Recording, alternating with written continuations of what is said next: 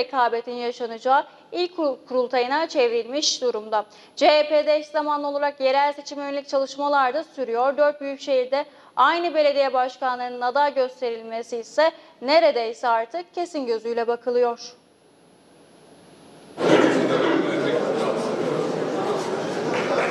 Kasım ayında olağan kurultayı yapmaya hazırlanan CHP'de yeni tüzük ve parti programına yönelik hazırlıklar sürüyor.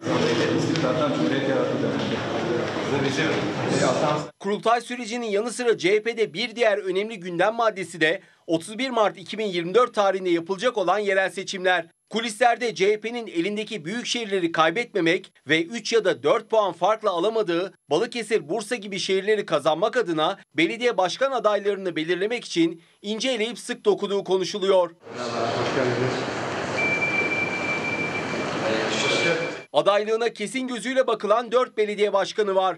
İstanbul Büyükşehir Belediye Başkanı Ekrem İmamoğlu, İstanbul'u bir kez daha savunmak için yola çıkıyorum. Tekrar İstanbul İttifakı'nı en güçlü şekilde kurmaya geliyorum.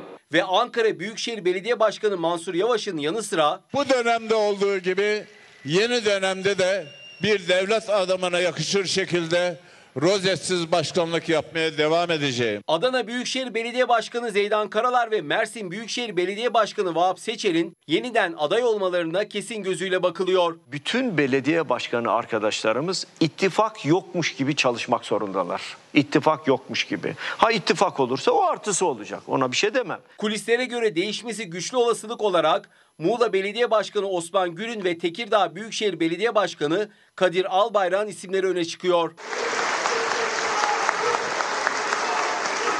Antalya'da adaylık için iki isim gündemde. Mevcut başkan Muhittin Böceğin yanı sıra CHP'li Muratpaşa Belediye Başkanı Ümit Uysal'ın da bu makamı istediği biliniyor.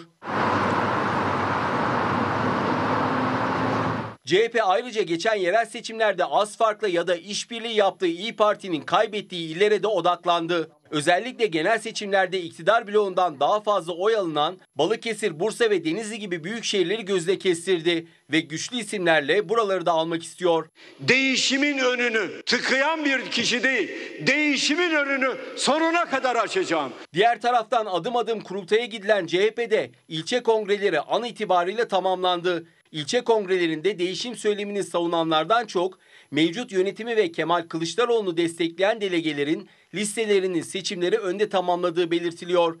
Geride kalan kongre süreçlerinde yine Kılıçdaroğlu'na yönelik ağır bir eleştiri getirilmediği de kaydediliyor.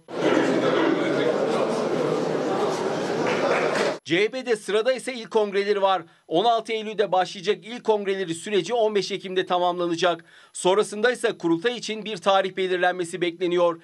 Değişimciler kurultayın da yerel seçimler öncesi yapılması gerektiğini savunuyor. Kurultay yapılmadan yerel seçimlere gidilmesinin seçmeni olumsuz etkileyeceğini söyleyen o isimler partililerle hesaplaşmadan seçime gidilirse hesaplaşma sandığa kalır. Böyle olunca da seçimi kazanmak zorlaşır görüşünde. İlk kongreleri tamamlandıktan sonra gözler kurultay tarihini belirleyecek olan parti meclisinde. Cumhuriyet Halk Partisi